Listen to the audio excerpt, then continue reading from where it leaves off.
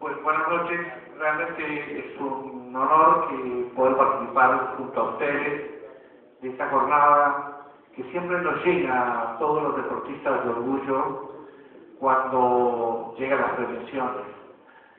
Pero al ver las palabras del presidente, de Fernando, finales, hicieron de alguna manera reflexionar y con profundidad y con sentimiento cuántas cosas nos pasan cada momento que compartimos dentro de nuestras ligas y nuestra querida confederación. Desde la mesa de la Confederación del Este hubo un aplauso grande, primero que nada a la selección sub-18 que lograra el título como mejor del Este, en este afán que tenemos nosotros de reconquistar los torneos zonales de la Confederación. Nos sentimos auténticos campeones de la Confederación del Este.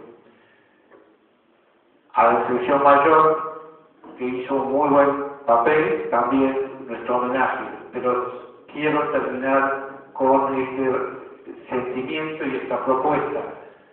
Vivamos fuertemente el deseo de construir juventud, nuestros mayores, el futuro en base al deporte, en base a la humildad que nos da cada lugar de que nos encontremos, sea como jugadores, sea como técnicos o sea como dirigentes. Muchas gracias, señor presidente, muchas gracias a todos los presentes.